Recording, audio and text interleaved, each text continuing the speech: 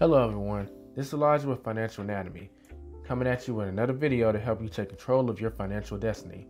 In this video, we're going to be talking about the Acorns app and how to change the settings of your portfolio. Y'all probably know the gimmick of Acorns is to take advantage of a roundup feature to invest very passively. So if you spend 90 cents buying a piece of candy, you will be charged a dollar and 10 cents will be invested into a portfolio. But you have a variety of portfolios to pick from, ranging from conservative to aggressive. So let's get into it.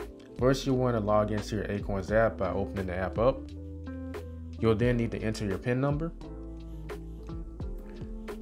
From here, you want to click on the Invest button and scroll to the bottom you see where it says risk. In my case, I have it set to aggressive, but you want to click on where it says risk and whatever your portfolio is. And then it'll just explain exactly what this portfolio is in a little more detail. Then it'll let you know what investments are in your portfolio. If you keep scrolling down, you'll then again see exactly what is your portfolio. You'll then see the risk level of your portfolio. Click on it and you'll be taken to this screen. So if you want to change it, all you got to do is click on the bars in the top of the screen.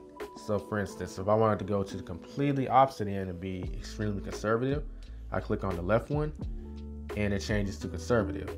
Now, just so y'all know, the risk level in this case is constructed between a balance of stocks and bonds. So you'll see the more quote unquote risky I get, the more stocks are involved. Me personally, I think that their most aggressive portfolio is actually pretty conservative by financial standards since they're still investing in ETFs and index funds. They're not investing in individual stocks, which most people consider to be more risky. So I think their aggressive option is pretty conservative. That's why I've never changed it. You can also scroll down and it'll give you a recommended risk level. I don't really pay attention to that based on you know, what I told you.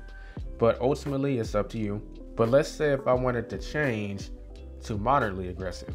So it's 20% bonds, 80% stocks.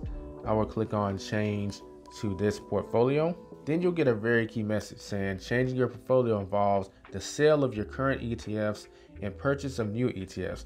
This has tax implications, and we suggest you first talk to a tax advisor. That means that when you sell, you'll be taxed on any gains that will happen. This is something that you don't want to take lightly. You don't want to change portfolio unless you're sure you want to change and beware that this will trigger a sale of your previous portfolio. You would click I'm sure if you wanted to change it. I actually don't because of what we just covered. So I'm going to click cancel. But that in a nutshell is how you change your portfolio based on your risk tolerance. Whatever you choose, that's where your roundups will go from that point. That does it for this video. If you have any questions or comments, feel free to leave them in the comment section below. If you haven't signed up for Acorns and you have an interest in doing so, you can sign up using the link in the description or the pinned comment. This has been Elijah with Financial Anatomy. I'll catch you later. Don't forget to get out there and take control of your financial destiny and give this video a like and a subscribe if you found value in it. See you later.